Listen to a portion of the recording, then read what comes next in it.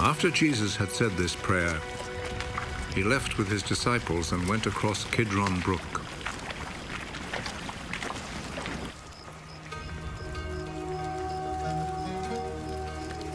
There was a garden in that place, and Jesus and his disciples went in.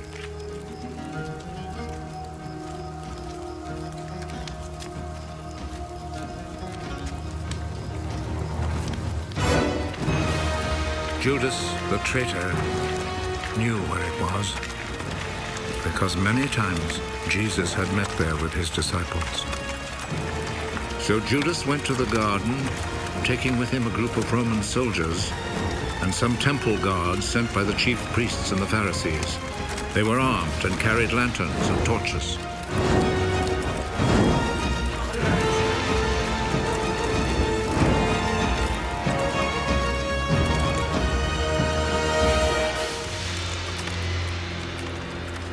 Jesus knew everything that was going to happen to him.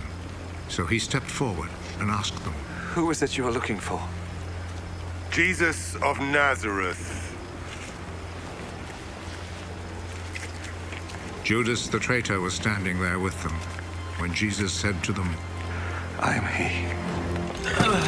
They moved back and fell to the ground.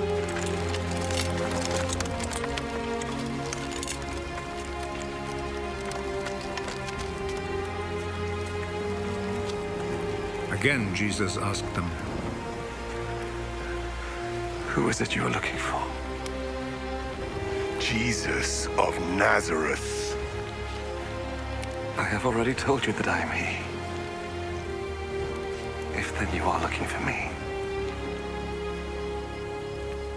let these others go. He said this so that what he had said might come true. Father, I have not lost even one of those you gave me.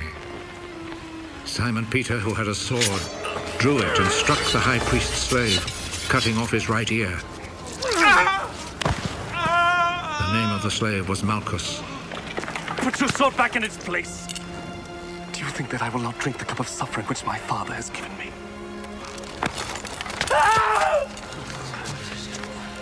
Then the Roman soldiers, with their commanding officer and the Jewish guards, arrested Jesus, tied him up,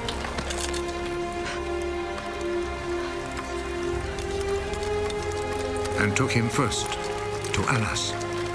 He was the father-in-law of Caiaphas, who was high priest that year. It was Caiaphas who had advised the Jewish authorities that it was better that one man should die for all the people.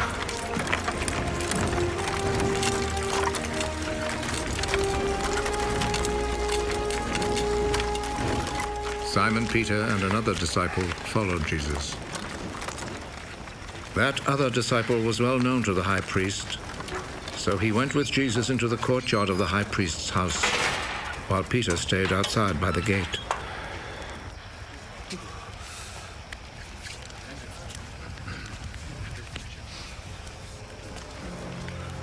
Then the other disciple went back out, spoke to the girl at the gate, and brought Peter inside.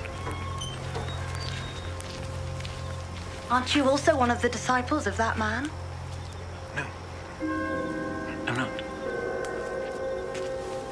It was cold, so the servants and guards had built a charcoal fire and were standing around it warming themselves. So Peter went over and stood with them, warming himself. The high priest questioned Jesus about his disciples and about his teaching. Jesus answered, I have always spoken publicly to everyone. All my teaching was done in the synagogues and in the temple where all the people come together. I have never said anything in secret. Why then do you question me? Question the people who heard me. Ask them what I told them. They know what I said. How dare you talk like that to high priest?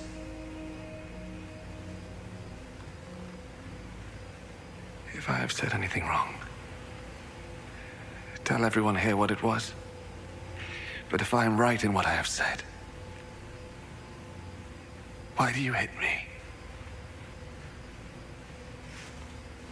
Then Annas sent him, still tied up, to Caiaphas, the high priest.